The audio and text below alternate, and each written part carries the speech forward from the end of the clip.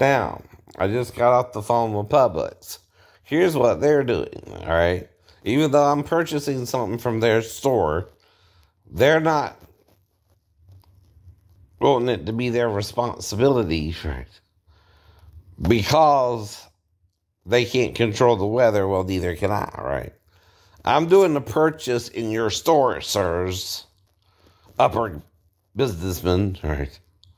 That if I had not been making that purchase from your store, my accident would not have happened, in other words. It's called tort law. I know it is. It's called a slip and fall on your property because I'm purchasing something from your store and I left my card at home. Right. Had to go back and get it and it started raining in the process. I didn't plan on that.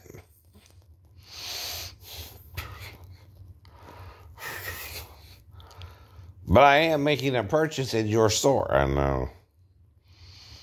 If I was not making the purchase in your store that day, would I have slipped and fell that day? No, no. It's well. No one's responsible for the weather, but we all know the possibility that if you are going into a store to purchase something and you had to go back home because you live close to the store, tort law, tort law means you're liable. Mm-hmm. Now, I'm trying to be a nice guy about it, but you don't want nice people, do you? You want assholes who will sue you for 15 grand instead of giving them just maybe five of that, right? And like the other store whose name we will remain unmentioned, right? You think you don't have to pay us anymore. I know. That's tort law 101. Yes, you do. Yes, you do. Mm-hmm. This ain't political. This ain't religious. This is what we all might have to deal with one day if you really slip and fall outside the store because you left your card at home and had to rush back to the store, right? To pay the for the stuff you bought, right?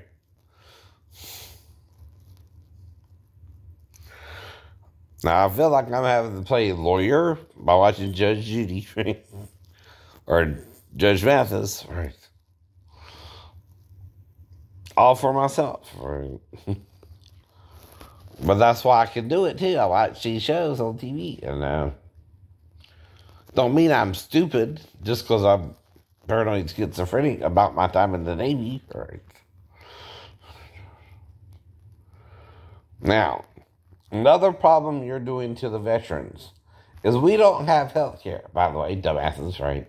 You didn't set up a health care for disabled people who went disabled as early as age 28, right? You didn't even bother with us.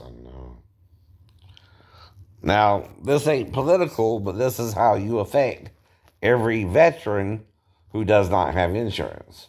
We can't get it because we make too much money if we're over 50% disabled, right? Your um your little state laws, I know, have caps, right? Well, if we're physically and mentally disabled, that means we cannot take care of ourselves normally and would still need an extra income for our insurance like I'm having to do in the state of Georgia, right? Even though I make over the amount, right, which I meant to, the amount of money I'm spending to bill ratio is greater than my actual income, right? It's called debt to income ratio, right? And right now, there's one that's greater, the debt to income, right? I'm living in a $155,000 house, right? I'm trying to drive a $30,000 car, right?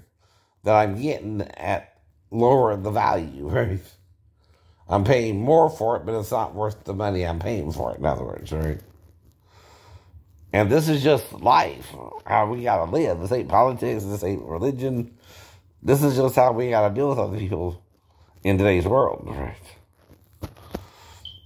And the problem is, with someone who has a real slip and fall. Mm-hmm.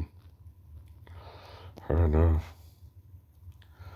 You, you don't even want to do that as people, right? Right. Fair enough.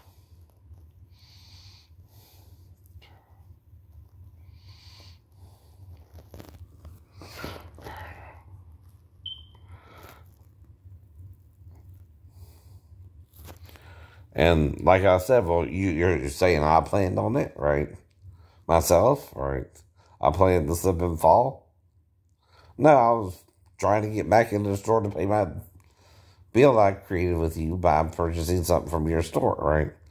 It's still within the proximity to be your responsibility too if I'm completing the transaction with you, right? Now, a decent person with a little bit of morals when know they at least got to pay some kind of medical expense, which I'm trying to do the cheapest thing I can do, which is at the massage parlor for like $72, where I'm paying 60 for an hour massage two or three times a month, right? Mm-hmm. Since the incident happened, right?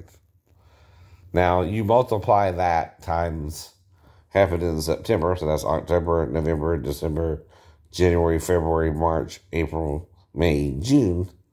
That's 10 months times at least. Mm-hmm. Um, 144, mm-hmm, which is just 144,000, right? Mm-hmm. Now, if you make me, I'm going to go for the max, right, which is 15, right? I know. To get at least something on the table. Mm-hmm. I know. I know.